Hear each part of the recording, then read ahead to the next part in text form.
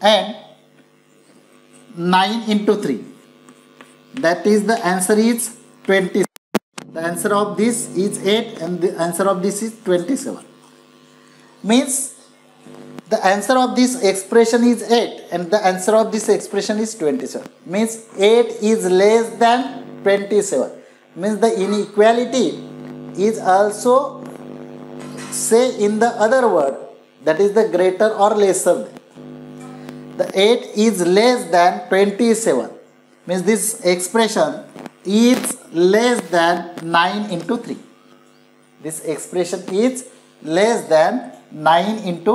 3 3 plus 5 is less than 9 into 3 other again we take the other example. Suppose 4 divided by 2 4 divided by 2 that is the answer is 2 here it's less than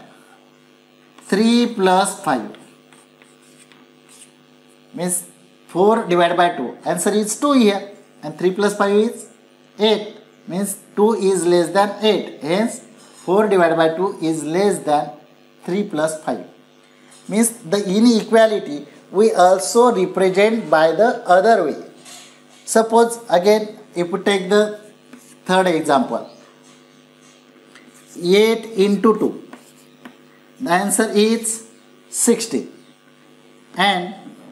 7 plus 5 answer is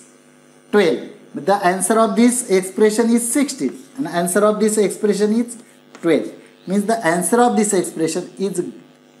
greater than the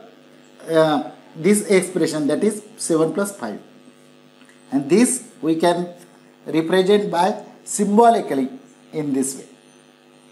means inequality we represent by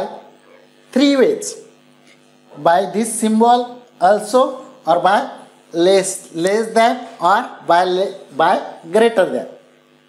अशा तीन चिन्हांनी आपण असमानता दर्शवू शकतो हे पण एक चिन्ह एक नॉट इक्वल टूचं साईन आपण वापरू शकतो लेस दॅनचं वापरू शकतो किंवा ग्रेटर दॅनचं त्या ठिकाणी चिन्ह आपण वापरू शकतो. अशा प्रकारे दोन वेगवेगळे एक्सप्रेशन्स असतील दोन वेगवेगळ्या पदावली असतील आणि त्या पदावलींची उत्तरं वेगवेगळी असतील म्हणून त्याला आपण त्या ठिकाणी असमानता पदावलींची असमानता असं म्हणत असतो. That is the